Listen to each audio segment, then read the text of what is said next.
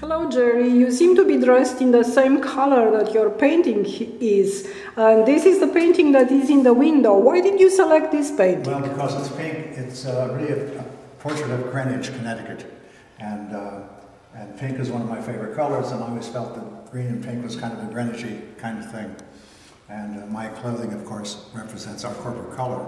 If you are a logo, you look at the logo, it is pink and orange,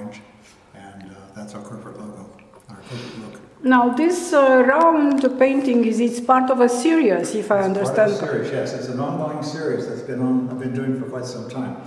I started in the, I think, early 70s doing a series, uh, which were the enamel paintings on 48-inch circles, and there are several of those here in the gallery. And, uh, and this is later, uh, which is uh, acrylic on a raw canvas.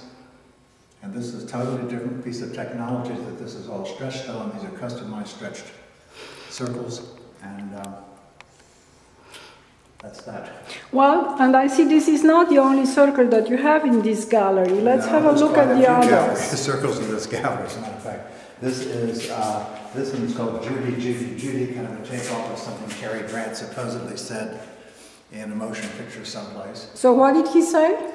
Judy, Judy, Judy. And that's uh, kind of, again, this was done the same time the other piece was done. And uh,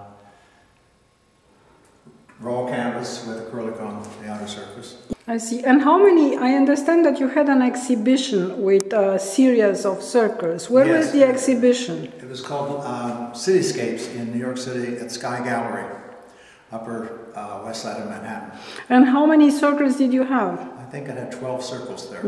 And so those which are in uh, in this gallery, in the IC uh, gallery, are part of that They're exhibition. from that exhibition, yes, ones that are left over